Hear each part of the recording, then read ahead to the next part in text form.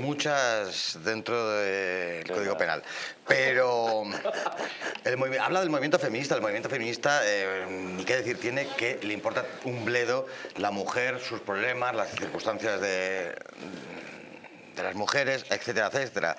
Eh, se han arrogado los problemas y el destino de la mujer y todo lo que no sea lo que ellos defienden pues eh, les importa un bledo. De todas maneras, decir a Josué que se te ha pasado una cosa muy importante, las playas, una playa en cada barrio. claro, para mí, para mí la medida estrella, tener una, playa en cada barrio. Vaya, vaya. Yo creo... Eh, el Tinder para el canto gregoriano y, y, qué más, hay la app esta que si vives con tu pareja, ahí te tiene controlado el porcentaje de veces a la semana o al mes que has puesto tú la lavadora y el porcentaje que lo ha puesto ella. Se me ha pasado. Supongo que eh. también controlará dentro del acto en sí, del acto íntimo, pues un poco si está bien, si está equilibrado, en fin, ya saben ustedes a lo que me refiero, no sea que una parte obtenga más placer que la otra, ¿no? Todo, Todo eso Todas estas propuestas eh, son unas propuestas enteramente delirantes. No... Eh, entran ni a evaluar los problemas de, la ciudadanía, porque no les importa absolutamente nada.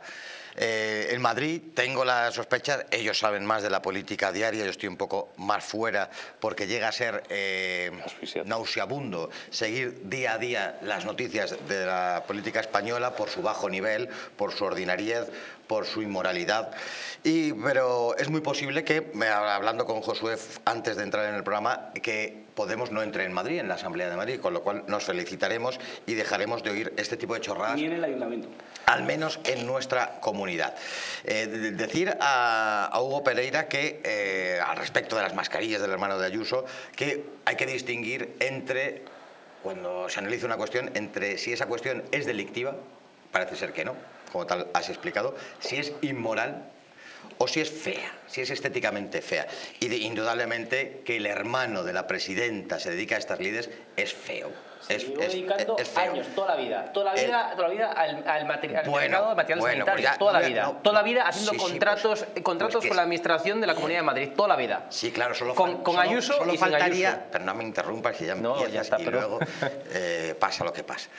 Eh, faltaría pues más, que, faltaría más que fuera fontanero y hubiera metido a, llevar las mascarillas. Claro, evidentemente queremos pensar los madrileños que se dedica a estas lides y le ha metido. Ya faltaría más que se dedicase a tener una churrería en Chamberí. Pero es feo, es feo y habría que ver si es incluso inmoral. Feo lo es. Delito parece que no eh, y muchas veces, no voy a decir lo de la mujer del César, que está bastante archisobado, pero indudablemente muchas veces, aunque se dedica a esas lides, hay que mantener fuera a los familiares que se puedan beneficiar. Precisamente, y entre otras cosas, primero porque no hay que hacerlo, si hay que explicarlo vamos mal, pero además porque te va a salpicar y va a quedar, como digo, feo. Eh, antes no hemos hecho hincapié en la cuestión de Pablo Iglesias con las residencias, Sí, sí, y vamos a seguir. Vamos a cómo eh, asumió esa responsabilidad, que has puesto el vídeo muy certeramente, eh, y luego desapareció y echando la culpa, en este caso... a las comunidades. A las comunidades, a algunas comunidades autónomas, porque... a todas menos en las que gobernaban ellos. Si todas las comunidades autónomas se encargaban de la gestión de, en tiempos del COVID eh, de las residencias, habrá que responsabilizar a todas. Y parece ser que solo se responsabiliza a Madrid, en Madrid, a Ayuso, porque es del Partido Popular, pero en otras comunidades no se responsabilizan.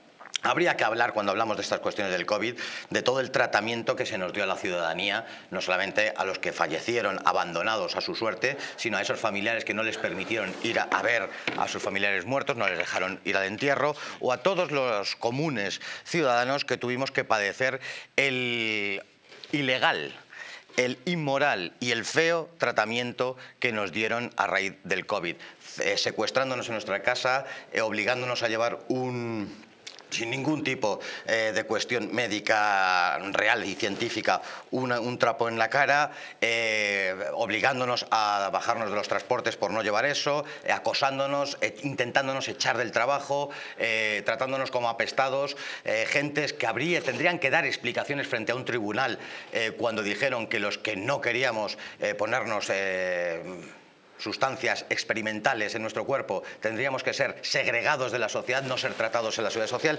Eso yo creo que habría que ir más por ahí. Y decir, y con eso terminar, que eh, tanto el Partido Popular con Fijó la cabeza como el Partido Socialista estuvieron de acuerdo en implantarnos aquellas normas draconianas e inmorales.